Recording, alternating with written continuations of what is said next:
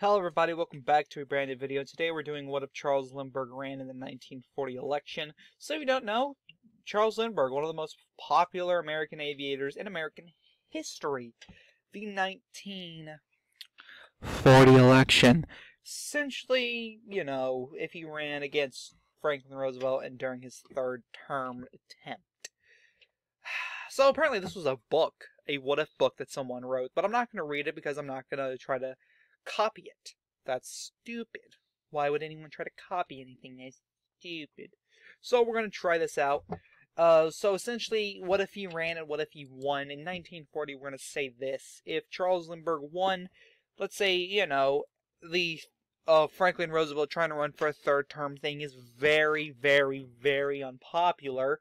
And ends up in Franklin Roosevelt, the landslide master himself, getting landslided and uh, Republican aviator Charles Lindbergh defeats Democrat President Franklin Roosevelt 355 to 176 to become the 33rd president. And I want to argue that in this first term, Charles Lindbergh does what the unthinkable. He gets us out of the um, out of the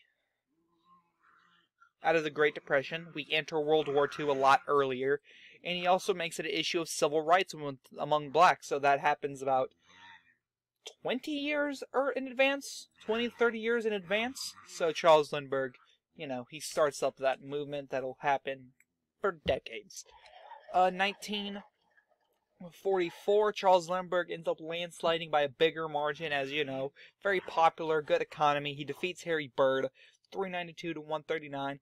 Uh, to win re-election. And you know, people are asking if he'll run for a third term, and then he responds with passing the 22nd Amendment pretty early uh, so limiting the president to two terms. He ends up passing that much early.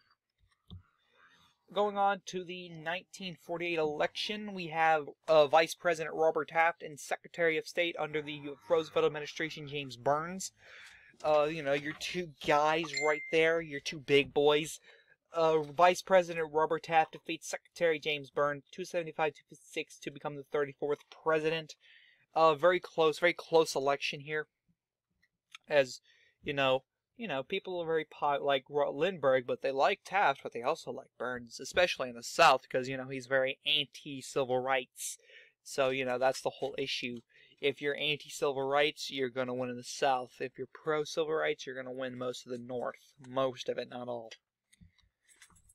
Going on to the 1952 election, there is a bad recession, post-war recession, as World War II is over. Excuse me. World War II is over. There's a bad post-war recession in America, so uh, Robert Taft is not the good guy. So they nominate Senator Alben W. Barkley uh, to try to take out Robert Taft, and he does, winning in a landslide, 370 to 161. However, Alben Barkley ends up passing away, so his vice president Estes Kefauver has to take over the helms, and you know, Estes Kefauver very popular, but the Republicans ended up nominating a very popular general, even more popular, Dwight D. Eisenhower, who ends up defeating Estes Kefauver uh, 299 to 231 to become the 37th president. So Eisenhower won just because he was a bit more popular than Kefauver was. Uh, going on 1950 or 1960, Dwight D. Eisenhower doesn't end up running for his second term just because of the fact of his health is very bad in this uh, just like it was in real life. So Richard Nixon, his vice president, ends up becoming the Republican nominee, and the uh, Democrats nominate the Senate Majority Leader in Lyndon B. Johnson. Uh, Johnson very popular amongst the South, especially. The Nixon, you know, riles up the black vote very much so.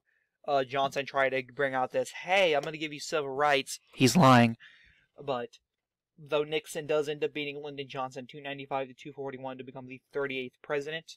Going on to 1964, Nixon is going to go up against anti civil rights leader George Wallace and essentially landslides him as he was able, just as in October Supplies, was able to pass an amendment garnering civil rights to the black, to black people, which is great. It's great. Good job, Richard Nixon, in this timeline.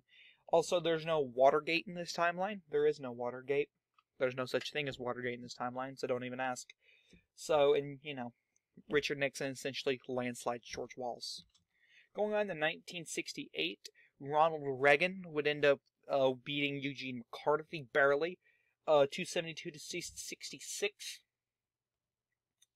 Uh, Reagan, you know, very popular Republican, does his best, his go, yeah, yeah, impression. You know, very popular Ronald Reagan is, very popular. Uh, and these maps are essentially, our trends are pretty much inverted because you'll start to see the south trending blue and the north trending red when it's supposed to be the opposite. So, yeah, it's gonna be a bit different, so bear with me. In 1972, uh, Democrats nominate Washington Senator Henry Jackson, who is landslided by Ronald Reagan, as we get eight straight, as we get 16 straight years of great Republican economy, great economy, low taxes, great stuff. Ronald Reagan pretty much, you know, Nixon very liberal. Reagan says, "Hey, I'm going to become conservative for. A, I'm going to make the Republican Party conservative for a little bit. Thanks."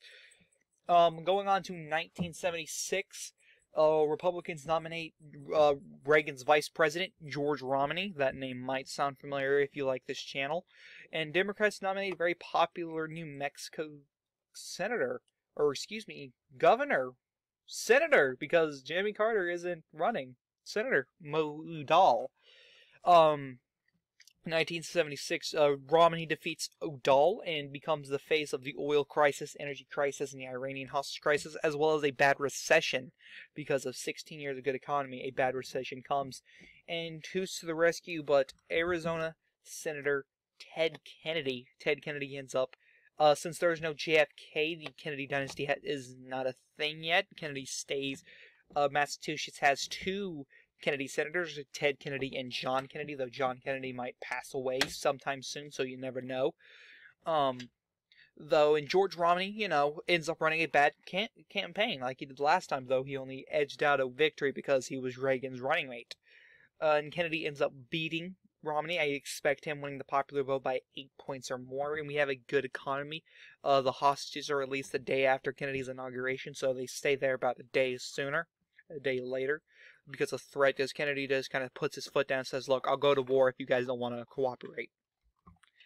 Going on to the 1984 election, uh, George Bush ends up becoming the, you know, the Republican nominee. He's a senator from Texas in this timeline, so he's, a, you know, he kind of takes Lyndon B. Johnson's seat. Just kidding. I don't know who he replaces. Probably Lloyd Bentsen. I don't know. Um, and he ends up not running a good campaign either. So he ends up he's like lukewarm milk toast.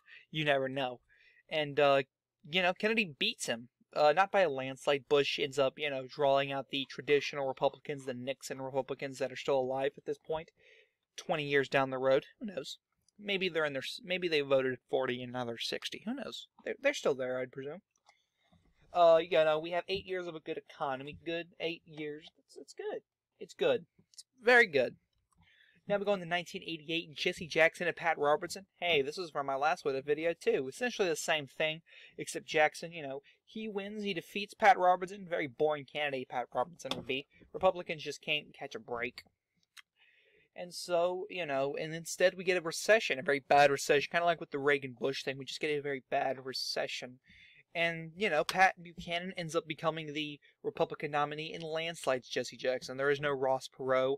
Uh, Jackson would introduce NAFTA, and Pat Buchanan was like, no, NAFTA sucks. And Ross Perot would back Buchanan, though uh, Buchanan would not win Texas in this timeline since it's trending blue.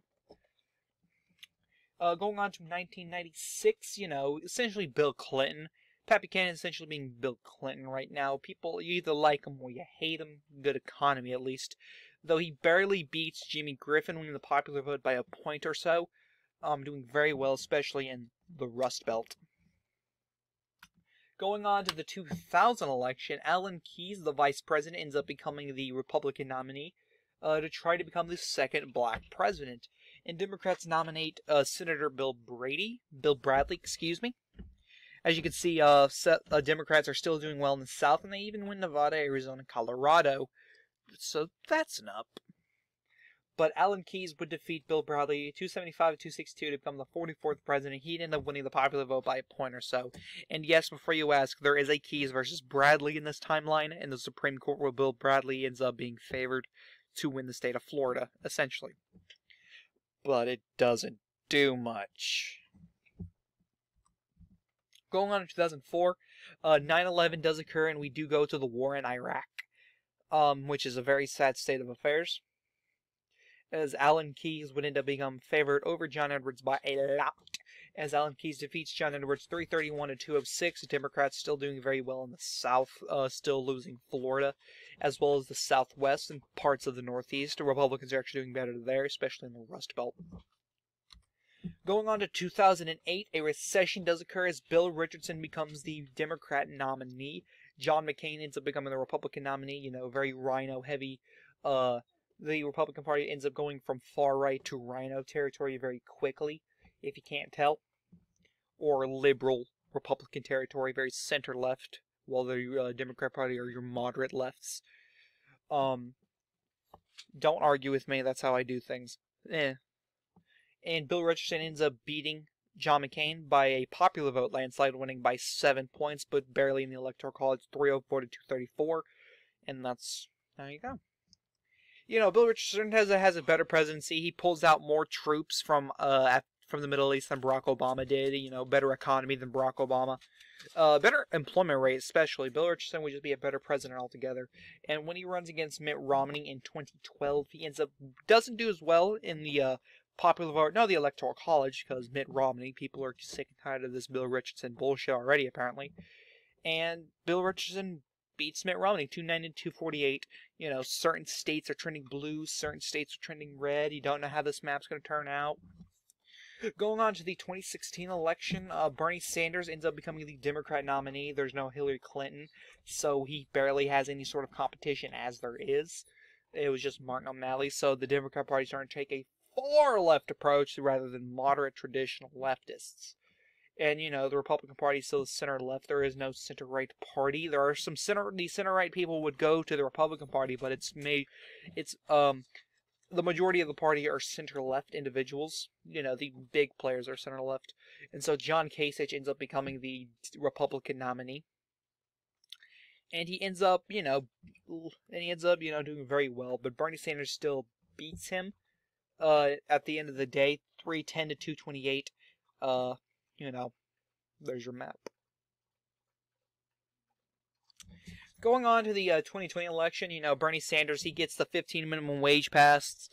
You know, not a lot of socialist policies. There's still no universal health care. There's, that's still being worked out, of course.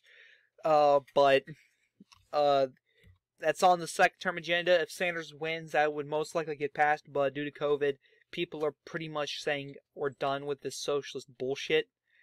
Um, because there's a bad economy. It's even worse. And Bill Weld ends up becoming the uh, 2020 Denver Republican nominee. Very libertarian, very leftist kind of guy. And he uh, beats Bernie Sanders 316 to 222 uh, to become the next president of the United States. So, guys, I hope you enjoyed this video. This is the Chaotic One saying, peace.